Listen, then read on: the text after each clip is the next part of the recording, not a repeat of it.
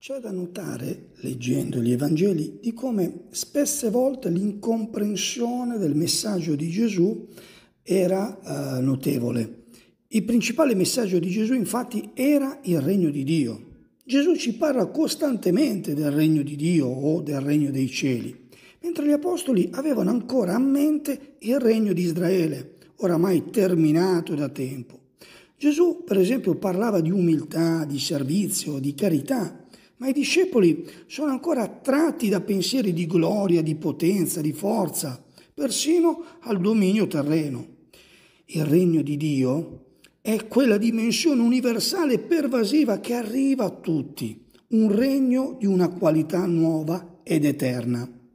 Purtroppo pregiudizi tradizionali, insegnamenti sedimentati da tempo impariamo da questo, sono di impedimento alla comprensione alle parole di Gesù.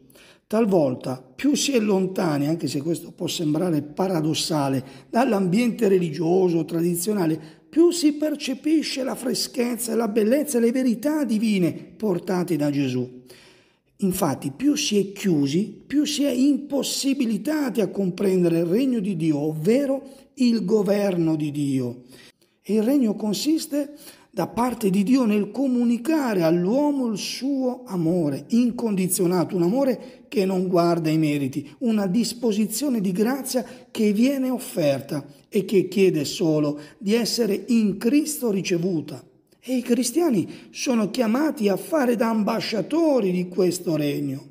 Il regno di Dio e di Cristo è un regno di qualità nuova, di qualità eterna, è un regno eterno infatti, perché il regno di Dio, come scriverà l'Apostolo Paolo, non consiste in vivanda né in bevanda, ma è giustizia, pace e gioia nello Spirito Santo. Poiché chi serve Cristo in questo è gradito a Dio e approvato dagli uomini.